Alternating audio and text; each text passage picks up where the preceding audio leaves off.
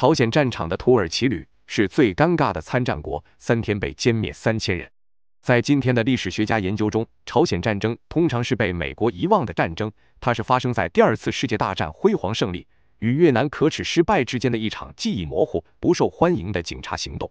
但是，如果说朝鲜战争在人们的记忆中只占有一席之地，那么土耳其在这场战争中所扮演的角色则几乎完全被遗忘了。然而，土耳其在这场战争中曾经一天损失一千人，但仍然不被人记起。那么，土耳其究竟为什么要参与朝鲜战争？朝鲜战争又给土耳其带来了什么改变？在视频开始之前，请各位粉丝朋友点击视频右下角的关注，支持一下。在美国，没有参加过朝鲜战争的人似乎很少记得土耳其人在那里打过仗。土耳其士兵很少出现在美国英雄电影的剧本中，即使出现，他们的形象也很模糊。除了美国人，土耳其人自己也并不认为。土耳其参与朝鲜战争是他们近代史上的一件大事。在距离安卡拉火车站几个街区的地方，有一座朝鲜战争阵亡将士纪念碑。该纪念碑并不显眼，是生活中的一个摆设，但不是景观的主要特征。然而，土耳其参加朝鲜战争是土耳其近代史上的一个关键点。事实上，参加朝鲜战争的决定是第二次世界大战结束后，土耳其重新评估其在国际政治和经济中地位的一个重要方面。与此同时，土耳其还重新考虑了西化、民主、军民关系、世俗化、伊斯兰教在社会中的作用、国家在经济中的作用，以及国家对社会和文化事务的干预等问题。参战结束了土耳其近三十年来不卷入国际冲突的政策，而这一时期为土耳其国内的辩论奠定了基础。这些辩论不仅涉及国内事务，还涉及外交事务，甚至延续到了二十世纪九十年代。第二次世界大战期间，土耳其共和国在一九四五年二月二十三日之前一直保持中立。六年来，土耳其一直抵制着来自同盟国和轴心国的强大压力，没有加入任何一方的战争，并且一直是该地区少数几个保持中立的国家之一。土耳其国土也保持完好无损，没有被大多数国家之间的战争摧毁。土耳其政府首脑伊斯梅特·伊诺努出对了牌，虽然他的中立决定在当时没有得到他的同胞和战胜国盟军的赞赏。也没有得到战败国协约军的同情，但他使他的国家免于毁灭，并向世界展示了他作为外交大师的能力。事实证明，保持武装中立对年轻的土耳其共和国来说是破坏性的。在整个第二次世界大战期间，土耳其其实一直处于实际的战争状态，军事生产以牺牲和平时期的商品为代价，实施了配给和宵禁，并实施了高税收，给许多人造成了严重的经济困难。直到一九四四年。在美国和英国的压力下，这一政策才被废除。冷战的出现使得土耳其国内也发生着巨大的政治变革。土耳其在二战后的环境中受到苏联的威胁，因此希望通过加入北约来拉近与美国的关系。而此时，酝酿已久的冷战随着朝鲜战争的爆发而进入白热化阶段。联合国发布决议，要求各成员国援助韩国。作为联合国会员国，土耳其认为自己有义务出兵，并派出了士兵。在这场得到国内广泛支持和理解的冲突中，土耳其派出的士兵英勇作战，没有功劳有苦劳，因此土耳其被允许加入北约，土美联盟得到加强。此外，北约和一系列土美联盟条款似乎并不是朝鲜战争给土耳其外交政策带来的唯一后果。朝鲜战争本身对土耳其外交政策的直接影响，以及土耳其在朝鲜战争中的作用，都是这种政策的延续。那么，土耳其究竟派出了多少兵力参与朝鲜战争呢？他们表现如何？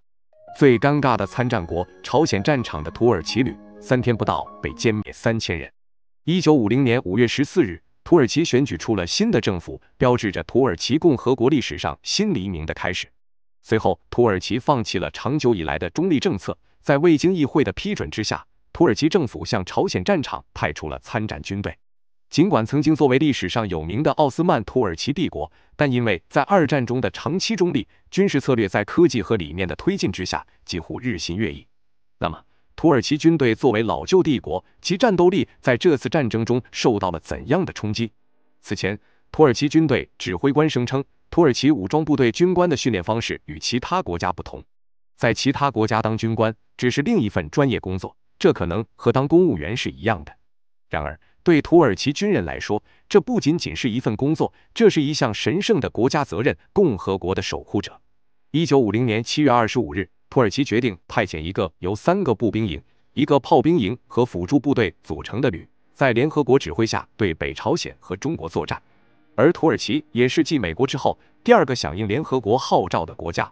究其原因，当时的苏维埃对土耳其人构成了威胁，所以土耳其旅必须证明自己是一支有能力的军队。在这场战争中采取的行动可能看似残酷或最没有意义，但士兵们时刻都在提醒自己，国家的存亡就掌握在自己手中。相比美军，土耳其旅的士兵称得上骁勇善战，并且声称永不投降，坚持到底是土耳其军队的一贯作战方式。然而，尽管土耳其士兵训练有素，但他们没有使用过 M1 加兰德枪或汤姆逊枪等现代武器，因此。在战争初期，大多数土耳其士兵几乎都不习惯使用这些步枪。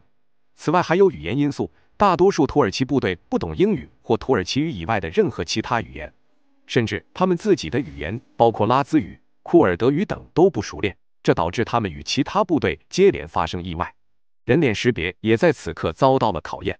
土耳其军队分不清中国人、韩国人和朝鲜人，以至于将他们混同一起。甚至还有当时美国错误情报的引导，土耳其旅在战场上乌龙事件频出。据称，在韩国第六师和第七师团的一列撤退的士兵遭到一个营的土耳其人的袭击，因为这些土耳其人将韩国人误认为是中国人，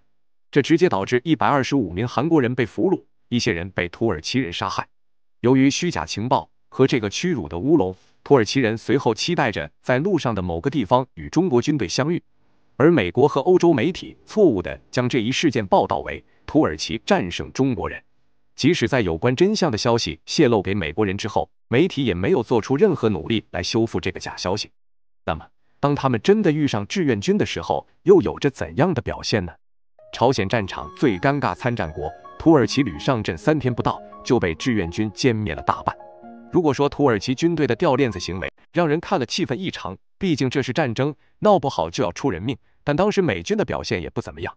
美国人之所以会遗忘这场战争，因为战争中的进程确实不像美国在二战中的表现。由此而来，土耳其旅在英勇也不会被记住。那么这次战争中土耳其旅的表现如何呢？麦克阿瑟当时发动的圣诞节回家攻势，希望将中国军队驱逐出朝鲜半岛，并尽快结束战争。所以。在军队打算前进前夕的感恩节烤火鸡大餐的鼓舞下，联合国队伍士气高涨，每个人都想着圣诞节回家。高昂的士气导致了部队纪律的恶化，大部分士兵在战斗前就丢弃了装备和弹药补给。例如，美国第九军的一个步枪连在开始进攻时，大部分头盔和刺刀都被扔掉了，平均每人携带的手榴弹不到一枚，弹药五十发。战争开始后，库尔特命令第九军预备队的土耳其旅阻止中国的志愿军前进。十一月二十七日晚，土耳其人在军隅里以东的瓦原采取防御阵地，他们很快就遭遇了中国志愿军第幺幺四师第三百四十二团。随后的中国军团与土耳其旅先遣营之间的战斗，在十一月二十八日的大部分时间里持续进行，结果四百名土耳其人伤亡。十一月二十八日黄昏到来时，土耳其旅试图向西撤退五公里至新宁里，以建立更坚固的防御阵地，但志愿军第三百四十二团追上大队。攻击其后方，将大队完全包围。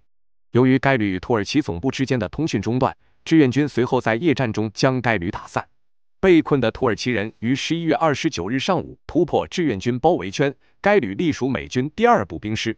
尽管土耳其旅被中国志愿军削弱，但其拖延行动使得美军第二步兵师于十一月二十八日晚夺取了军隅里。此前，麦克阿瑟开始意识到朝鲜的危机正在加剧。他召集了包括沃克在内的战地指挥官，在东京召开了一次会议。在会议中，麦克阿瑟了解了第八集团军右翼的情况，判断第八集团军陷入了极大的危险。他指示沃克在中国军队包围第八集团军之前退出战斗。按照沃克的命令，第八集团军的大部分主力立即与中国军队断绝联系并撤退，但美国第二步兵师被迫留在军隅里，以阻挡中国军队的进攻。随着美军第二十三步兵团在土耳其军队占领的地方建立防御阵地，十一月二十九日上午，美军第三十八步兵团试图占领军隅里东北部的山丘，但美国人很快发现志愿军第幺幺二师已经占领了山头。美第三十八步兵团随后被迫占领距离中国人一英里的较低位置。与此同时，土耳其旅残部与美军第三十八步兵团会合，掩护该团在的右翼。与此同时，中国志愿军第幺幺四师攻击土耳其旅和美第三十八步兵团的右翼，中国军队沿着凯川河南岸进攻，包抄土耳其人，然后在联合国后方越过河流，土耳其人伤亡惨重。第二天，土耳其的幸存者出现在瓦旺公路以北和西北部的美第三十八步兵区，土耳其人损失了大部分装备、车辆和大炮，并在与中国军队交战后伤亡多达一千人。十一月二十九日。土耳其人被中国军队驱逐出去，被迫在完全混乱的情况下撤退。但土耳其人的撤退暴露了美第三十八步兵团的右翼。到十一月二十九日黄昏，志愿军切断了美第三十八步兵团和军与里之间的道路，美军不得不通过渗透志愿军防线达到撤退的目的。十一月三十日凌晨四点，美第三十八步兵团在第二十三步兵团的掩护下渡过加川江，军与里被中国志愿军控制。志愿军一路歼敌，早在十一月二十八日夜间就伏击了一支土耳其的车队。至此，土耳其旅派出的五千多人，三天不到的时间就损失大半。随着军与里战斗的结束，志愿军第幺幺二师与第一百一十三师会合，其路障深度增至六英里。另一方面，由于土耳其旅成功阻止了军与里周围六个中国师的进攻，该旅帮助稳定战线后，麦克阿瑟表示。土耳其人是英雄中的英雄，土耳其旅没有不可能。土耳其旅最昂贵的战斗都发生在一九五零年十一月底到十二月初期间，该旅损失超过大半的人员和百分之七十的装备，遭受了如此巨大的损失，军事部署精疲力尽。终于，土耳其与其他联合国部队一起被列为需要休息和改装的部队之一。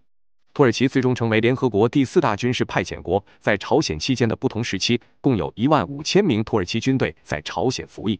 战场上的友情使美国和土耳其士兵之间建立了深厚的关系。抵达韩国后，土耳其军队接受了美国陆军的训练和装备，为士兵和军官提供了多次加强个人和职业联系的机会。当时，土耳其的干预给士气低落的美国带来了希望。在纪念朝鲜战争五十周年之际，美军军官还曾回忆起土耳其士兵在弹药耗尽后，如何在步枪上装上刺刀，继续进行肉搏战的惨烈场景。战争被遗忘。土耳其屡被遗忘，可能只是媒体单方向的论断。因为战争后，土耳其得到了国际社会的邀请，加入北约，并在此后的为中东、欧洲地区密切与英美等国合作。